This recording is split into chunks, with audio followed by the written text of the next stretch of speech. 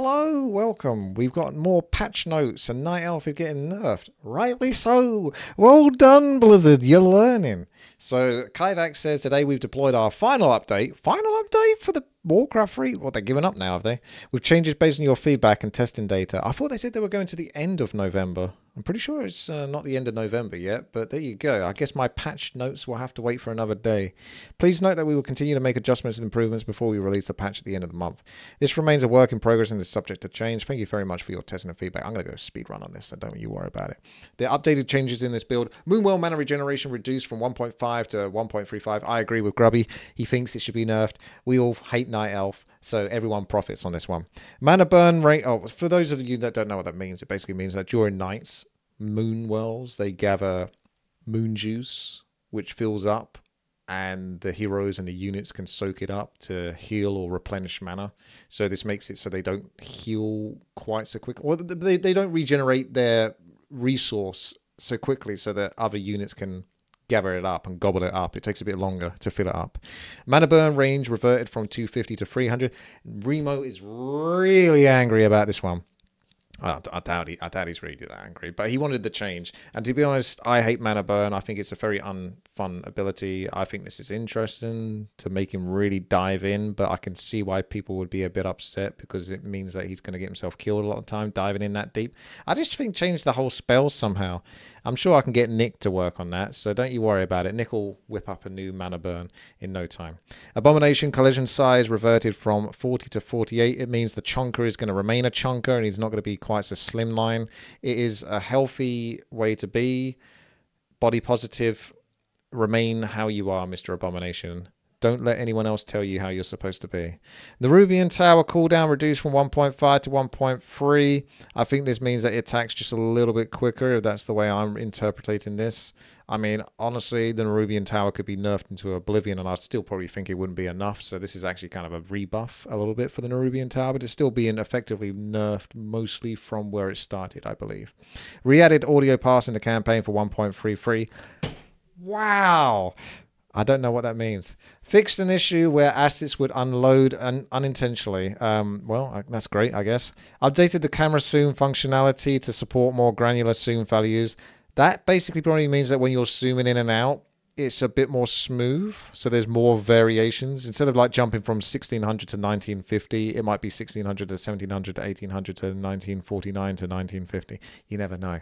And that's basically it as far as I can tell. If there's any changes in this bit, I don't think this counts. I think this is just pretty much what they've changed. Um, going over there, fixed the crash. There's a whole bunch of issues that we currently have with the patch. Yeah, all this stuff we know basically. The one bit that I didn't cover properly was how the uh, mercenaries, neutral camps, got their uh, movement speed reduced, which I don't think is that necessary. They are strong for what they are, but making things slower is never that much more fun. So I don't really like that. Um, uh, look at it.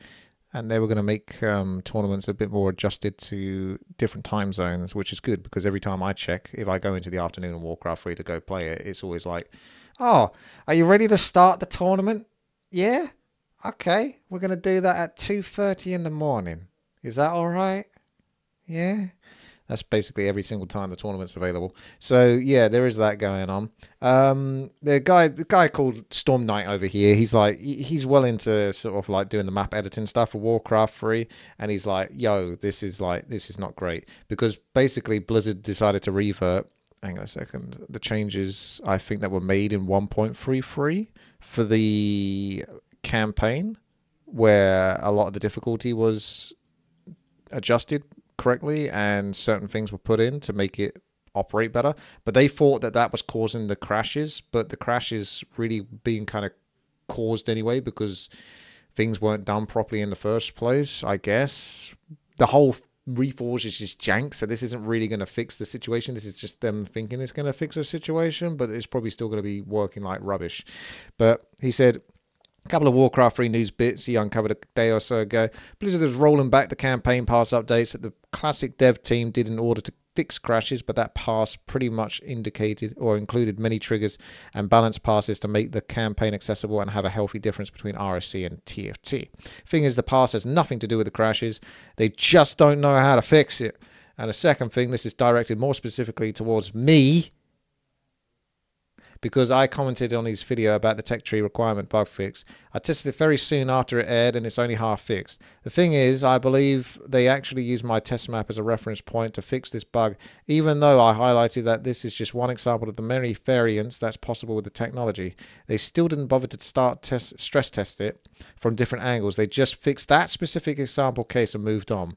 I kind of think of that as like just in the actual bare minimum, just to make sure that the house just about stays upright. You know what I mean? Has anyone ever seen that episode in The Simpsons? Very old one where Ned Flanders' home gets destroyed by a tornado, I believe, and then the whole community gets together to rebuild him a house.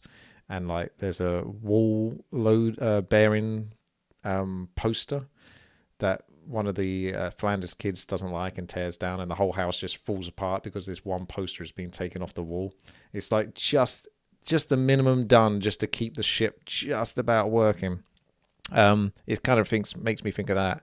So if you're wondering what's exactly broken with custom tech tree requirements, if 3.16 PTR airs as it is now, mapmakers making tech trees that require level three upgrades have their upgrades get broken at the third level. So yeah, it's not working for custom upgrades, custom tech tree requirements, as far as I understand it. Um, the third level isn't corresponding correctly. You get access to it at the second level, and they haven't really fixed that. So that's a bit of a pest for anyone making creating their own races and stuff like that. Like the Naga race and all that that's been coming out recently. So yeah, stuff going on. And basically, Blizzard is just like, yo, this is the final update. We've had enough. We can't be bothered anymore for this patch. So you know, it is what it is. Until the next one. Thanks for popping in.